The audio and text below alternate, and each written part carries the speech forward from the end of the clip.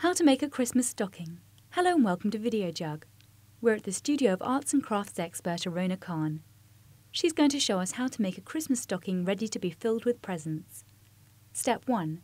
You will need card, a pencil, scissors, a large piece of felt, a piece of chalk, pins, silk embroidery thread, needle, pinking shears, hole punch, ribbon or cord, Christmas confetti, and glue. Step 2. Make the template. Draw the shape of a stocking on a piece of card and cut it out to make a template. You can make it as big or small as you like and even make mini stockings to hang on the tree.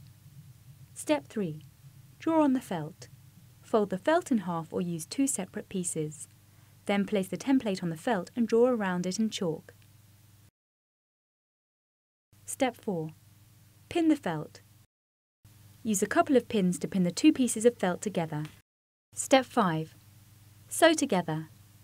Sew around the outline of the stocking with embroidery thread. Make the first stitch at the top corner a double stitch to ensure it's really strong. Then continue sewing around the outline using a simple running stitch.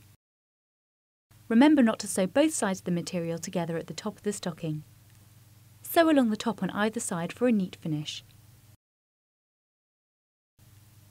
Step 6. Trim. Trim the material with pinking shears about 1 cm away from the stitching.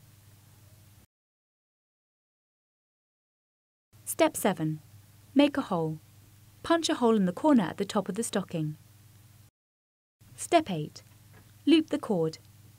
Cut a length of cord and tie a knot in one end. Trim off the excess. Thread the other end through the hole in the stocking and tie it in a knot. Then tie both ends together to make it a loop. Step 9. Decorate. Decorate the stocking by gluing pieces of gold confetti in places all over the front of the stocking. Now all you have to do is hang it up and wait for Santa to fill it with presents. Done!